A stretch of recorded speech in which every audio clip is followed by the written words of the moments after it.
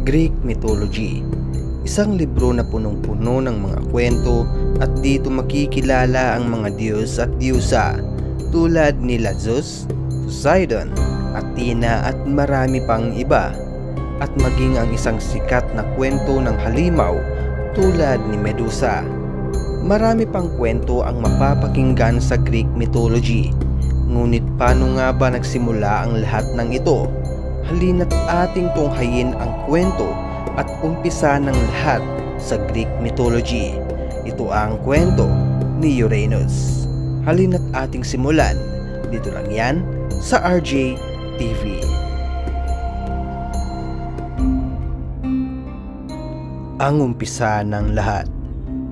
Noong wala pang nabubuhay, wala pang masasabing daigdig, wala pa ang mga god at goddesses. Ang mayroon lamang noon ay ang isang kawalan. Kawalan na napakatahimik at napakadilim. At ang isang kawalan na ito ang simula bago malikha ang lahat. Siya pa lamang ang naroroon siya ang umpisa ng lahat. Siya ang umpisa ng Greek mythology. Sa napakatahimik at walang anumang makikita sa kawalan na ito, ay doon biglang nagkaroon ng isang pagyanig at isang napakalakas na enerhiya ang nabuo at ang kaganapang ito ay bigla na lang tumigil at biglang nanahimik na lang ang buong kawalan. At doon ay naganap na nga ang napakalakas na pagsabog sa buong kawalan na ito. Sa pagsabog na ito ay dito umusbong ang mga primordials. Una na ngang umusbong dito ay si Gaia, ang God of Earth, na siyang nagsisilbing daigdig ng sangkatauhan. Kasama niyang umusbong dito ay ang kanyang mga kapatid na sina Eros, ang Diyos ng pag-ibig. Erebus na siyang Diyos ng kadiliman at ang Tartarus na kung saan ang lugar na ito ikinukulong at pinaparusahan ang mga masasamang nilalang. Si Gaia ay may kakayahang magbigay ng buhay mula sa kawalan. At dito nga ay kanyang ipinanganak ang Diyos na si Uranus na kung saan ito ay ang mismong kalangitan. At doon ay mula sa pagkikipagsiping ng mundong si Gaia sa kalangitan na si Uranus ay doon ipinanganak ang unang henerasyon ng mga Titans. At ito ay sina Oceanus, Koyos, Crius, Hyperion, Lapetus, Thea, Rhea, Themis, Memosin, Phoebe, Thetis at Kronos. Matapos nga ipinanganak ang mga Titan, ay muling nanganak si Gaia ng mga kakaibang nilalang. Ang mga ito ay ang mga higanteng may iisang mata lamang sa mukha at isa din dito ay ang mga nilalang na may isang daang braso at limangpung ulo at ito nga ay ang mga Hecatonkharis. Dahil nga sa pisikal na kaanyuan ng mga nilalang na ito ay lubos na kinamuihan ni Uranus dahilan upang ipakulong niya ang mga ito sa lugar ng Tartarus. At dahil sa ginawang pagkulong ni Uranus, ang mga anak nila ni Gaia ay lubos na ikinalungkot at nakaramdam ng galit si Gaia dito sa kanyang asawa na si Uranus. Doon ay napagdesisyonan ni Gaia na kalabanin si Uranus at upang magawa niya iyon ay humingi siya ng tulong sa iba niyang mga anak at gumawa si Gaia ng isang maalamat na karit. Ang karit na ito ay kanyang ibinigay sa kanyang anak na si Kronos, ang pinakabata sa mga henerasyon ng mga Titans. Pumayag si Kronos sa balak ng kanyang ina sapagkat takot si Kronos na baka matulad din siya sa kanyang mga kapatid na nakulong sa Tartarus. Ito na din ang dahilan upang mapalakas ang kanyang loob na gawin ang kanyang misyon. At nang dumating nga ang pagkakataon na muling makikipagsiping si Uranus kay Gaia, ay ito na ang naging hudyat upang isagawa ni Kronos ang kanyang misyon.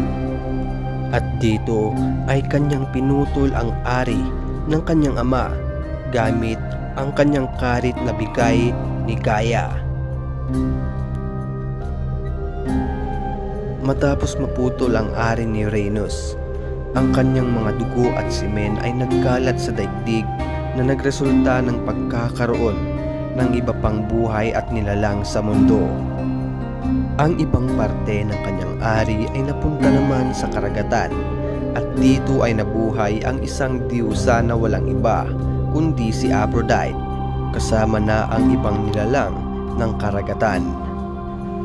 Matapos nga mapatalsik ni Kronos ang kanyang ama na si Uranus, doon ay napalaya niya ang kanyang mga kapatid mula sa Tartaros at ito'y ikinatuwa ni Gaia sapagkat malaya na ang kanyang mga anak.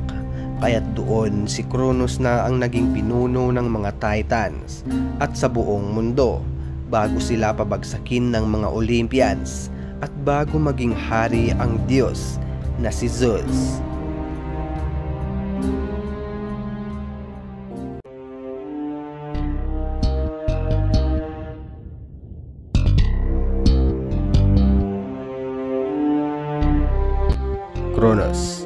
Ang hari ng mga Titans at siya ang pinakabatang anak ni Uranus ang langit at si Gaia na mundo. Sinasabi nila na itong si Kronos ay ang isang Diyos na makasarili dahil pinatunayan niya na siya nga ay gaya din ng kanyang ama na si Uranus. Mga kaibigan, ating tunghayin ang kwento ni Kronos, ang hari ng mga Titans. Dito lang yan sa RJ TV. Nagsimula ang lahat nang magawang mapatalsik ni Kronos ang kanyang amang si Uranus ay siya na ang naging hari ng mga Titans at sa pangyayaring iyon nang dahil sa gusto niyang matupad at makamit ang kanyang mga kagustuhan ay gusto niya palaging maibibigay ang lahat ng kanyang hinihiling. Nang tumagal nga ay lumaki ang kanyang kumpiyansa sa sarili. Naging mayabang at mapagmataas na itong si Kronos. Tulad ng kanyang amang si Uranus, ang mga Cyclops at mga Hecatancaris ay kanyang kinamukihan din kung kaya't ang mga ito ay kanyang ibinalik ulit sa lugar ng Tartaros na ito nga ay ikinalungkot muli ng kanyang inang si Gaia. Pinakasalan ni Kronos ang kanyang nakatatandang kapatid na si Rhea at dito ay nalaman niya ang maaaring mangyari sa kanya sa hinaharap. At ito ay ang isa sa magiging anak nila ni Rhea ay ang maaaring magpabagsak at papalit sa kanya sa trono. At sa kanyang takot na mangyari iyon, ay dito nga naisip ni Kronos ang kanyang mapagmalupit at walang awang pamamaraan na ito nga ay ang bawat isisilang na sanggol ng kanyang asawa ay kanyang agad lulunukin ito ng buo. At sa pagsilang nga ng unang sanggol nila na si Hera ay agad itong nilunok ni Kronos. At sa sumunod nga na anak nilang si Hestia ay kanya ding linunok ito ng agad nang walang awa nung ito'y kalalabas pa lamang. Sunod dito ay si Demeter na hindi rin nakaligtas sa ginagawang paglunok ng kanilang ama na sinundan pa ni Hades at Poseidon. Ang lahat ng mga anak nilang ito ay kanyang nilamon ng walang awa. Ngunit dahil nga sa ginagawang ito ni Kronos ay nakaramdam ng sobrang galit ang kanyang asawa na si Rhea. Kaya sa kanilang pang-anim na anak na si Zeus ay ang tanging nakaligtas lamang dito. Bago pa man lumabas si Zeus ay gumawa na siya ng plano upang iligtas ito. At dito ay nagbalot siya ng isang bato na hinulma niya na parang sanggol. Ginawa ni Rhea ito upang sa ganon ay ito ang lunukin ng kanyang asawang si Kronos. At doon nga ay sa pagkaabot pa lamang ni Rhea ang batong ito ay agad nang binuka ni Kronos ang kanyang bunganga upang lunukin ito. Kahit pa hindi ito tinitignan ni Kronos. Kaya't matagumpay nga niyang malunok ang isang bato na inaakala niyang isang sanggol na si Zeus. At doon naman ay itinago ni Rhea si Zeus sa isang kuweba ng Crete upang sa ganun ay hindi ito makita ni Kronos. Sa paglaki ni Zeus ay nagkaroon siya ng galit at sama ng loob sa kanyang ama sa kadahilan ng tinangka siyang kainin nito at sa pagkakalunok nito sa kanyang mga kapatid. Kaya't balang araw, pag siya ay handa na, ay balak niya itong kalabanin. Pinakasalan ni Zeus si Metis, isang babaeng titan na nagtataglay ng katalinuan at karunungan. Na ito nga ay ang dahilan kung bakit nagustuhan nito ni Zeus. Limit sa kaalaman ng Diyos na si Kronos, ang kanyang mga nilunok na anak ay pwede palang mabuhay ang mga ito sa loob ng kanyang tiyan. At doon ay naisip ni Zeus na maaari niyang iligtas ang kanyang mga kapatid. Upang sa ganun ay maaaring makatulong ang kanyang mga kapatid sa kanyang balak na kalabanin ang kanilang ama. At doon din ay pinaalam ni Metis kay Zeus ang isang potion na maaaring ipainom ito sa kanyang ama upang sa ganon ay isuka nito ang kanyang mga kapatid na linunok. Kaya't nang dumating ang pagkakataon ay gumawa si Zeus ng hakbang upang isagawa ang kanyang balak at siya ay nagpanggap bilang isang alagad na magpapainom ng potion kay Kronos. Matapos nga mainom ni Kronos ito, ay bigla itong nahilo at isinuka niya ang kanyang mga nilunok. Isinuka niya ang kanyang nilunok na bato at sumunod dito ay ang mga kapatid ni Zeus na sina Hera, Hestia, Demeter, Hades at Poseidon. Pero nang mailuwal ni Kronos ang mga ito ay hindi na mga sanggol, kundi nasa tamang edad at ganap ng Diyos ang mga ito. Upang mapalakas palalo ang puwersa ni Zeus sa pakikipaglaban sa kanyang ama at sa mga titans ay kanyang pinakawalan din ang kanyang mga tiyuhin na Hecatangcaris at Cyclops sa Tartaros. At bilang pasasalamat ng mga ito kay Zeus sa kanilang paglaya ay niregaluhan nila ito ng isang sandata kasama na din ang mga kapatid nito. Matapos ang lahat ng iyon ay nagsimula na nga ang pagre-rebelde ni Zeus kasama ang kanyang mga kapatid laban sa mga titans at sa kanilang ama na si Kronos at naganap na nga ang matinding sagupaan ng mga ito na tila umabot pa nga sa sampung taon ang kanilang labanan at tinawag nga itong Titanomachy.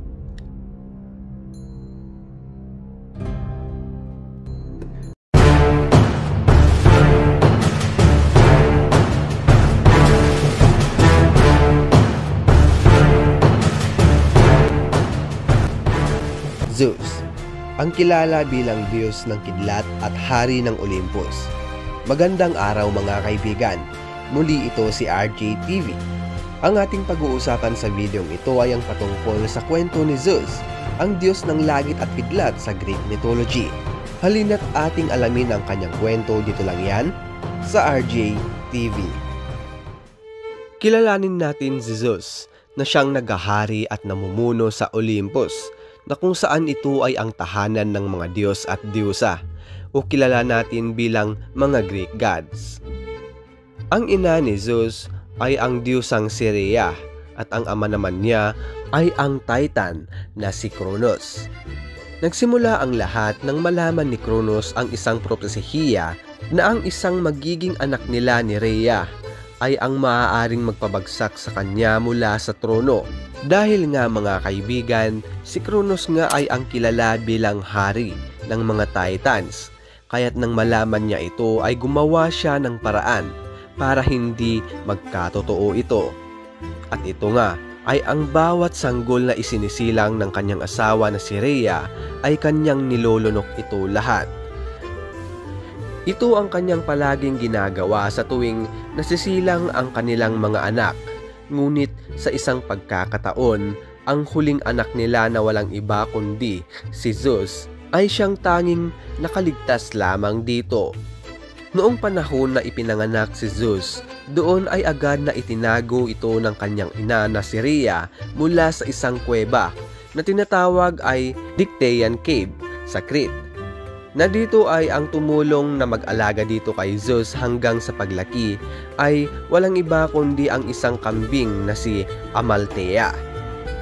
Nang hanapin nga ni Kronos ang bagong silang na sanggol ni Rhea, doon ay gumawa si Rhea ng paraan at ito ay ang nagbalot siya ng isang bato gamit ang isang tela at hinulma niya ito na para bang isang sanggol at ito ang kanyang pinakain kay Kronos. Ang mga kapatid ni Zeus na nilunok ng kanyang ama ay sina Demeter, Hera, Hestia, Hades, at si Poseidon. Nang lumaki itong si Zeus, dito ay nalaman niya ang sinapit ng kanyang mga kapatid sa kanyang ama. Kaya't doon siya ay naghanda upang harapin ang kanyang ama na si Kronos. Gusto niya na maghiganti ito sa kanyang ama dahil nga sa ginawa nitong paglunok ng kanyang mga kapatid.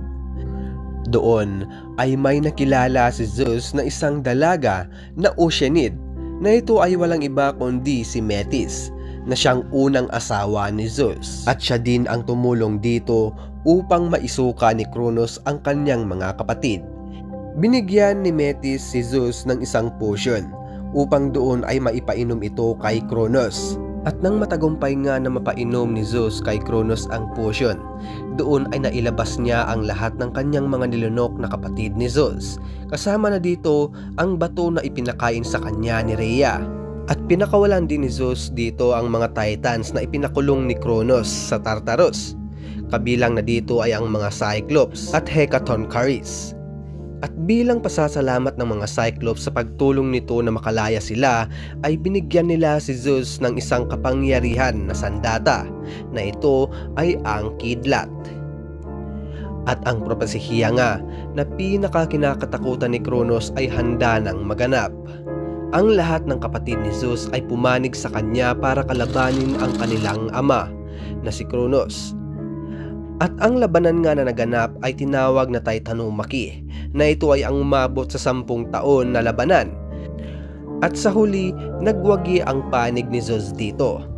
At ang lahat ng mga Titan na pumanig kay Kronos ay ipinatapon ni Zeus mula sa Tartarus.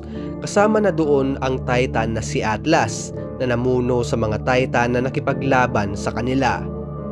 At mga kaibigan, kung nais mo din na mapakinggan at mapanood ang kwento ni Atlas, ay may iniwan akong link diyan sa description. Maraming salamat po. Mabalik tayo mga kaibigan. Doon ay pagkatapos ngang magwagi sila Zeus sa labanan, ang lugar ng Olympus na ngayon ay ang naging tahanan nila.